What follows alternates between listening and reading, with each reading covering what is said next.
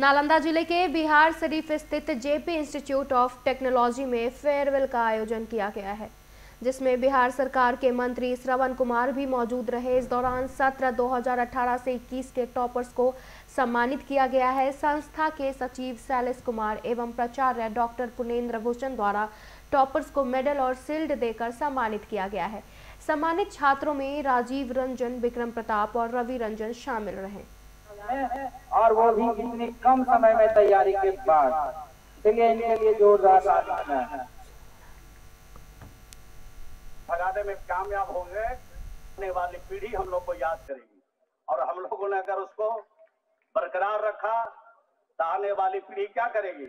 आने वाली पीढ़ी थूकेगी कि कौन हमारा पुरखा था, कौन हमारा अगुआ था, जिसने सामाजिक बुराइयों पर को पाल के रखा, उसको हटाने का काम नहीं किया।